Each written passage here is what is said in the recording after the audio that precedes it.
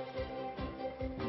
ส่วนนี้เป็นภาพของถุงสารเคมีขนาดใหญ่ที่ร่วงจากตู้คอนเทนเนอร์ลงบนถนนบ้านภูไซตำบลเขาไม้แก้วอำเภอบางละมุงจังหวัดชนบุรี ซึ่งตำรวจและเจ้าหน้าที่สาธารณสุขกำลังเร่งตรวจสอบเบื้องต้น พบว่าถุงสารเคมีขนาดใหญ่จำนวน 3 ถุง มีผงเคมีคาร์บอนแบล็กที่ใช้ในการผลิตยางรถยนต์ กระจายเกลื่อนเต็มพื้นถนนเป็นระยะทางยาวกว่า 10 เมตรค่ะโดยคนขับรถให้การว่าได้บรรทุกสารเคมีมาจากโรงงานย่านแหลมฉบังเพื่อจะไปส่งที่ระยอง จุดเกิดเหตุเป็นทางโค้งทำให้ถุงสารเคมีหลุดร่วงจากตู้คอนเทนเนอร์ ส่วนสารเคมีหากสูดดมมากอาจทำให้ระคายเคือง แสบคอและแสบตา เจ้าหน้าที่จึงต้องเร่งเก็บกู้และดำเนินคดีกับคนขับรถ